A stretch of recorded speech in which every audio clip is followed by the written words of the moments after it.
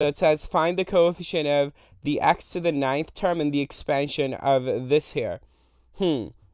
Even though this is a trinomial, you can kind of like group make it a binomial. You can think of it as a binomial by like letting this guy be one of the guys, x squared is like playing the role of x, and then 2x plus 1 playing the role of y.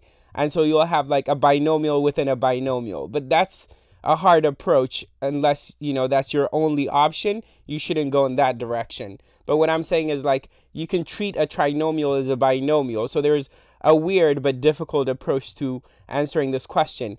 The clever and inventive and quick way to solve it is to recognize that x squared plus 2x plus 1 can be written as a binomial. x squared plus 2x plus 1 is x plus 1 all squared.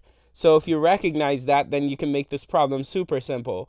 So recognizing that x squared plus 2x plus 1 is x plus 1 all squared, you can write this trinomial to the 10th power as um, a binomial squared and then to the 10th power. And of course, then you could just write it as a binomial to the 20th power. And then it's very easy to figure out what the coefficient of x to the ninth will be from here, right?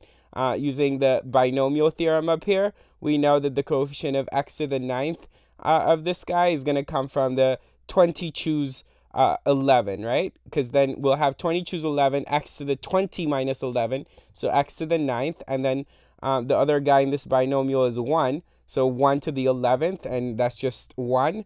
And so we're going to get 20 choose 11 x to the ninth, from uh, which we see that the coefficient is 20 choose 11. And I don't think uh, that we need to figure out what 20 choose 11 is. It's just going to be like more cumbersome to do that than to leave our final answer like this. So I'll leave it like this. I hope you enjoyed uh, both of these uh, problems and keep watching. Take care.